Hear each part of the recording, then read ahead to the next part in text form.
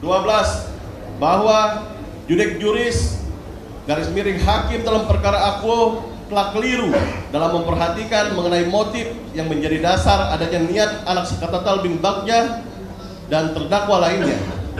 Sebab dalam faktanya ternyata ada dua versi mengenai motif yaitu bagian pertama dinyatakan latar belakang pembunuhan karena Peggy alias Perong cemburu karena cintanya ditolak oleh korban Pina. Namun pada bagian akhir pertimbangan hakim yang menyak yang bersangkutan menyatakan motifnya adalah karena terdakwa Dani yang dendam karena cintanya ditolak oleh Pina dan kemudian dalam keseluruhan pertimbangan hakim tidak ada satupun fakta yang menunjukkan faktor apa yang mendorong anak Sakatatal untuk turut serta memukul satu kali kepada korban Rizky dan tidak ada pula fakta bahwa Sakatatal bin Bagja memukul korban Pina. Sehingga dengan demikian, hubungan antara motif dan perbuatan serta akibat dari perbuatan para terdakwa tidak koheren atau tidak berkesesuaian dan terjadi kontra kontradio interminis dan karenanya putusan tersebut harus dibatalkan. 13 bahwa berdasarkan fakta hukum di persidangan judik faksi pada tingkat pertama oleh karena rangkaian perbuatan anak Sakadatal bin Bagja terputus sehingga atau hingga di playover talun arah Kabupaten Sum, Sumber dan tidak ikut bersama-sama melakukan pembunuhan berencana di lahan kosong di belakang bangunan showroom mobil seberang SMP Negeri 11 di Jalan Perjuangan Kampung Situ Gangga, Kelurahan Karya Mulia, Kecamatan Kesambi, Cirebon. Karena pada saat itu Sakatatal bin Bagja untuk segera pulang ke rumah.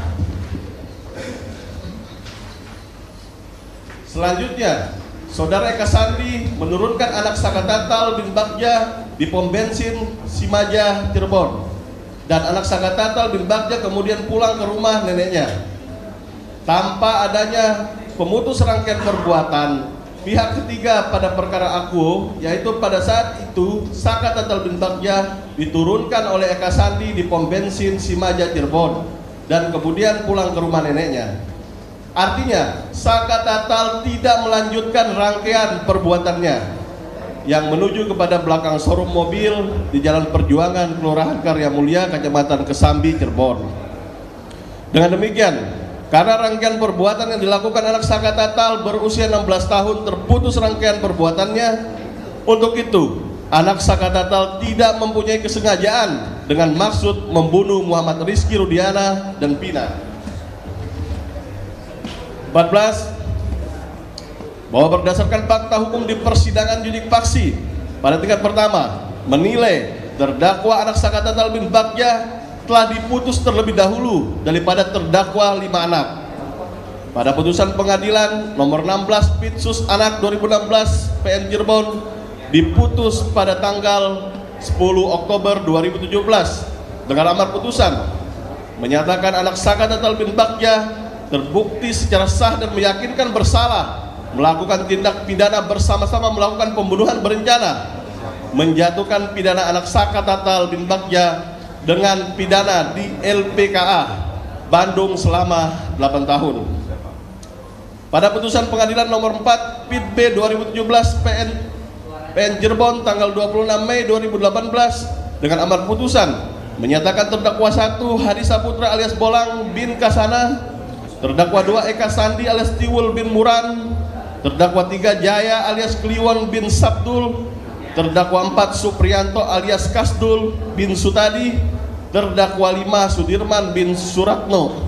Tersebut di atas terbukti secara sah dan meyakinkan bersalah melakukan tindak pidana turut serta melakukan pembunuhan berencana dan turut serta melakukan perbuatan kekerasan memaksa anak melakukan persetubuhan dengannya. 15 bahwa berdasarkan fakta hukum di persidangan aku pada tingkat judik faksi hakim pada tingkat judik faksi tidak cermat dan tidak teliti dalam menentukan lokus delikti atau tempat terjadinya hilangnya nyawa korban anak Muhammad Rudiana Sehubungan dengan perbuatan Saka Tatal yang melakukan pemukulan satu kali dengan menggunakan tangan kosong terhadap Muhammad Rudiana yang mengenai pipi. Saka Tatal terlibat pemukulan satu kali yang mengenai pipi Muhammad Rizky Rudiana di playoper. Kemudian Saka Tatal tidak ikut bersama lima terdakwa dewa, dewasa lainnya menuju belakang showroom mobil Jalan Perjuangan Kecamatan Kesambi, Cirebon. Karena Saka Tatal diturunkan oleh Eka Sandi di pom bensin karena memperoleh karena memperoleh telepon dari kakaknya Saka Tatal bernama Jaka. Kemudian lima terdakwa dewasa lainnya membawa anak korban Muhammad Rizky Rudiana dan Pina dilakukan pemukulan dan penusukan di dalam kurung di tempat kejadian peristiwa kedua. Di belakang showroom mobil Jalan Perjuangan Kecamatan Kesambi tanpa ikut sertanya Saka Tatal bin Bagja dan berdasarkan fakta hukum korban Muhammad Rizky Rudiana meninggal dunia di belakang showroom mobil Jalan Perjuangan Kecamatan Kesambi. Untuk itu Saka Tatal yang diponis ikut serta dalam TKP kedua showroom belakang mobil Jalan Perjuangan